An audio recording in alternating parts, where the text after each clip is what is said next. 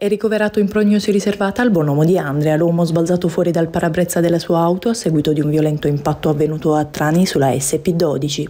All'origine dello scontro pare ci sia un sorpasso imprudente in concomitanza della manovra a sinistra di una seconda vettura in via Sant'Annibale Maria di Francia. La donna alla guida della Ford si apprestava a svoltare in via di Villa Friuli dando la precedenza a coloro che provenivano da Corato. Alle sue spalle erano incolonnati un tir ed altre auto. La Hyundai sarebbe partita in fase di sorpasso per oltrepassare i veicoli in coda coda ed è piombata sulla Ford disposta ormai trasversalmente sulla strada.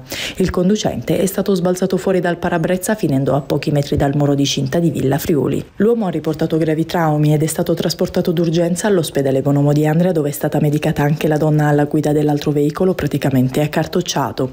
La provinciale 12 che collega Trani a Corato da anni è teatro di una serie di incidenti alcuni dei quali mortali.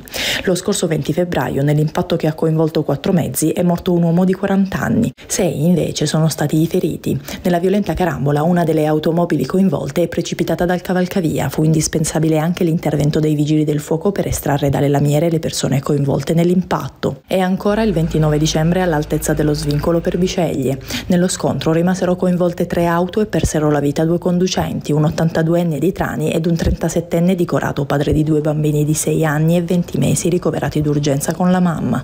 La famiglia stava rientrando a casa.